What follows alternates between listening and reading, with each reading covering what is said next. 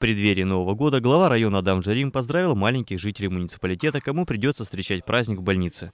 Вместе с Дедом Морозом и Снегурочкой районный руководитель посетил детскую поликлинику, чтобы поддержать детей и пожелать им скорейшего выздоровления.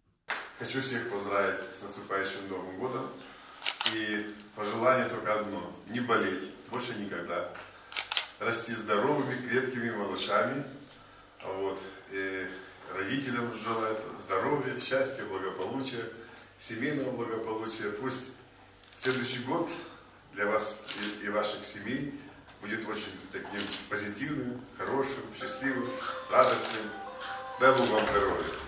Ни один ребенок не остался без подарка и поздравления. Новогоднее настроение ребятам подарили главные зимние герои – Дед Мороз и Снегурочка. В этот день глава района поздравил и работников Северской больницы. Взрослые получили сладкие подарки и теплые пожелания с Новым годом.